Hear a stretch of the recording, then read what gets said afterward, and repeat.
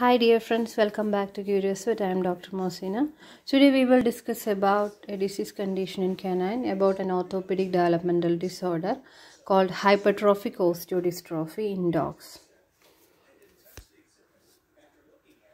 So hypertrophic osteodystrophy or metaphyseal osteopathy is a disease of long bones and it is a disease of rapidly growing large or giant breeds of dogs that causes metaphyseal trabecular disruption. The condition is characterized by grossly observable swellings of the distal metaphyses of radius ulna and tibia. This disorder has been misinterpreted by some clinicians as joint swellings. But sometimes uh, the condition can be seen in the jaw, ribs, or vertebrae. And the breeds commonly affected are large and giant breeds like Great Danes, Weimaraners, Labrador Retrievers, and Standard Poodles.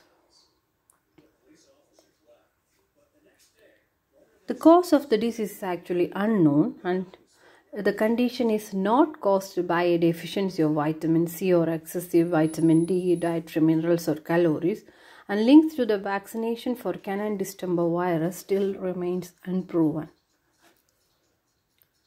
Now let's see the pathophysiology. Disturbance of the metaphyseal blood supply leads to delayed ossification of the physeal hypertrophic zone and this there will be inflammation and necrosis occur secondary to metaphyseal trabecular microfractures. And the clinical signs are metaphyseal limb swelling involving all the four limbs, but it is more noticeable in the thoracic limbs. And males are more commonly affected, and it usually affects more in 2 to 8 months of age. There are different forms. In the acute form, there is a transient, episodic, low grade lameness with pyrexia and hot, swollen, painful limbs.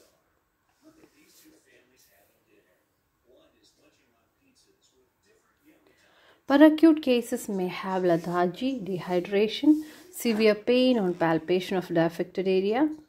Severe physeal damage rarely leads to angular limb deformities as well.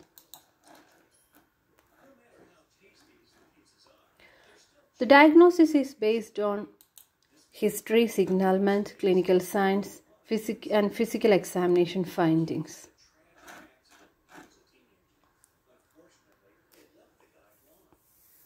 An important diagnostic tool is radiography. Radiographs reveal a pathognomonic pseudophyseal line adjacent to the physis on the metaphyseal side of the bone as seen in this picture.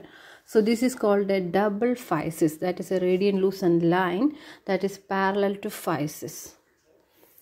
Laboratory findings are invariably unremarkable and rare hypocalcemia is of unknown significance.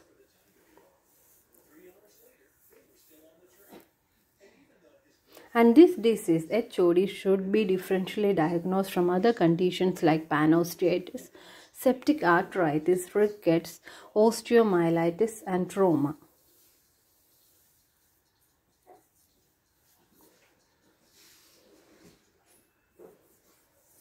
Coming to the treatment, treatment varies depending on the degree affected, but therapy consists of mainly supportive care and analgesia.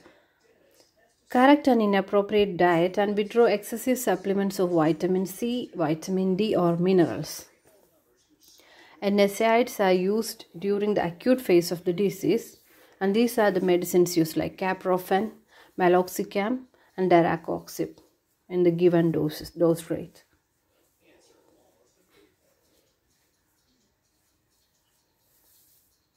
Rest confinement soft soft tissue bed like soft bedding use of soft bedding and turning off animal every 4 to 6 hours is done as necessary.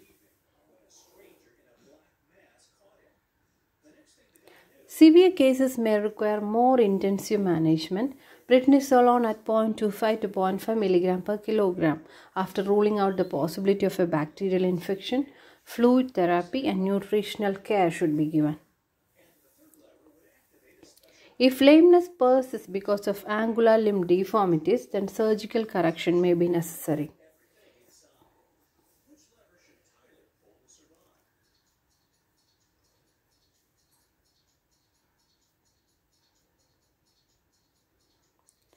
Monitoring of animal. Relapses can occur in growing dogs. Most mild and moderate cases recover completely. Owners may elect euthanasia of severely affected animals or ones that experience multiple relapses. Prognosis is usually good, but angular limb deformity is a possible complication. Recovery relies on supportive care and can take days to weeks. Most dogs with this disease will have one or two episodes and then recover. Now let's see the key point once again. Hypertrophic osteodystrophy is a disease of large, rapidly growing dogs. The distal metaphyses of forelimbs are more commonly affected and can be swollen. Radiographic findings have a classic double physeal line. Treatment is supportive uh, with anti-inflammatories or steroids, pain medications and activity restriction. So that's all about hypertrophic osteodystrophy or HOD in canines. If the video is informative, please like it and share it with your friends. Comment your suggestions. If you are new to this channel and not subscribed yet, please subscribe and click the notification bell so that you get notified every time I upload a video. Thanks for watching Curious Vet. See you soon with another video.